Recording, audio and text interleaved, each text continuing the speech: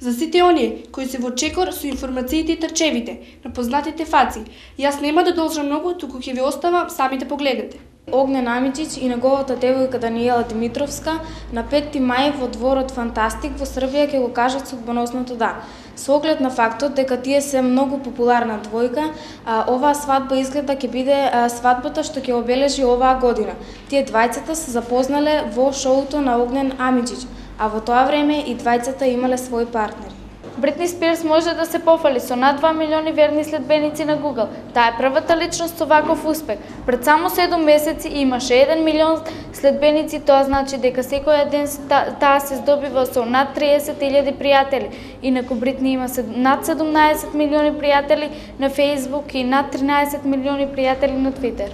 Градот ще по 27 пат ќе биде домаќин на најквалитетниот македонски фестивал на забавни мелодии Макфест, кој и ова година ќе го раководи Јован Јованов, односно продукцијската куќа Нова X Идеја. Конкурсот за овој фестивал кој ќе се одржи на 11, 12 и 13 октомври е веќе отворен. И оваа година фестивалот ќе се состои од три вечери.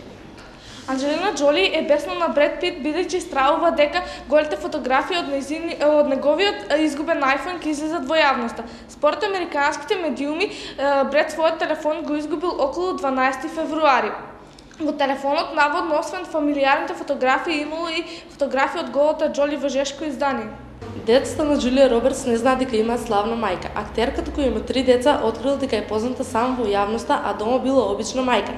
Се трудила кучните оброски да ги извршува сама, бидејќи на тој начин се чувствувала посветена на семејството.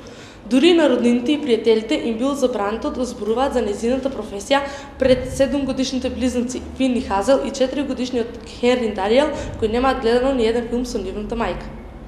Можете ли да го замислите изненадувањето на познатата актерка Мија Беговиќ, која веднаш по враќањето од VIP Survivor се најде пред заклучената врата на својот стан?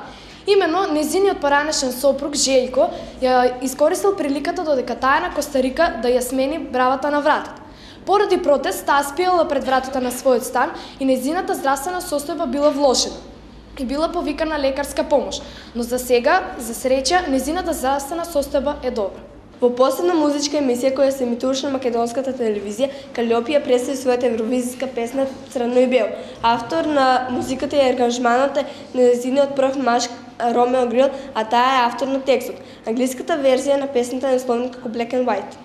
Александар, синот на Северина и Милан, по раѓањето стана небогатиот наследник во поранешна Југославија. Само во недвижен имот неговите родители му оставија 5 милиони и 900 илјади евра. Пеачката и бизнисменот имаат недвижен имот во, во Америка и на Кипар. Богатиот наследник ќе може да бира каде сака да ужива, а каде ќе живее. Вториот студиски албум на Адел 21 го надмина успехот на Майкл Джексон и стана најпродаваниот албум на сите времења во Британија. 23 годишната пеачка продолжува да поставува нови рекорди по издавањето на албумот. Минатата година стана најдобро продаваниот албум. Тој е продаден во тираж од над 4, 4 милиони примероци. Се бара пејачка која, која би можела да ја представи Витни Хјустон во муичко-актерски смисол. За сега никој друг освен Ријана не ги исполнува најдобро вокалните е, квалификации и физичката сличност за да биде носител на овој проект.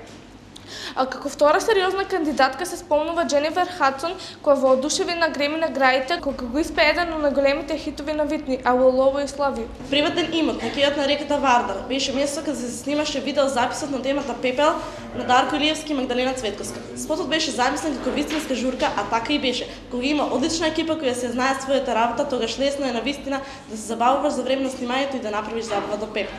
Дуетот од Пепел, кој ќе се најде на првиот албум на Дарко Илиевски Алтер Его, е дело на Лазар Цветковски кој застана зад музиката и аранжманот додека текстот е на Магдалена Цветковска.